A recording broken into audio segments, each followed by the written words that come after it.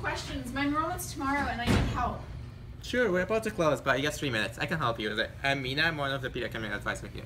Which classes should I take? Check Plaza, Catalog, and the 40 plan you get from your counselor. What do I do if the class is full?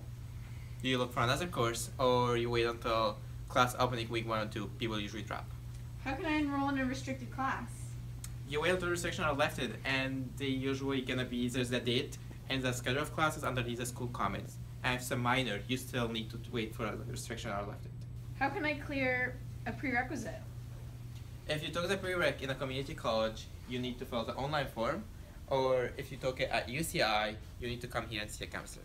How many classes do I need to enroll into? Mm, minimum 12 units to be full time. When is the last day I can add or drop a class or change the grade option?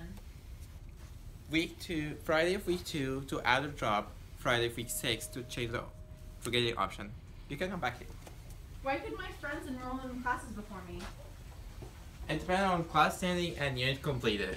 So and very groups too, like CHP, athlete veterans, and people with disabilities. How can I see if I have a hold on my account? They are gonna be in student access, big red font in the top. How do I get rid of the hold on my account?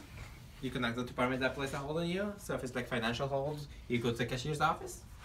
What's the maximum units I can enroll into during my enrollment window? 18 units. How can I enroll in more than 18 units?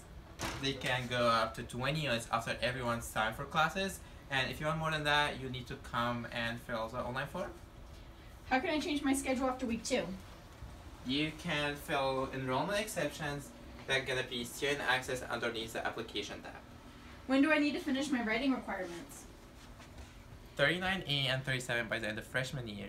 And also lower the writing gonna be by the end of sophomore year and summer counts too. When do I need to complete my GEs? All the GEs need to be done before graduation.